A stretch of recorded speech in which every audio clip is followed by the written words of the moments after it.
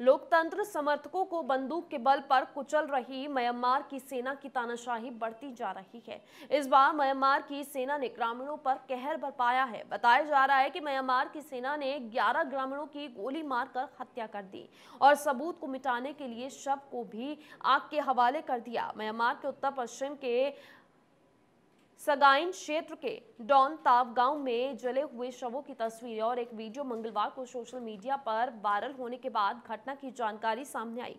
इस video footage को पुरुषों को गोली मारने और जलाने की, के कुछ ही समय बाद जो है जला दिया गया था। वहीं कुछ पीड़ित कथित तौर पर उस समय भी जीवित थे जब वीडियो बनाया जा रहा था।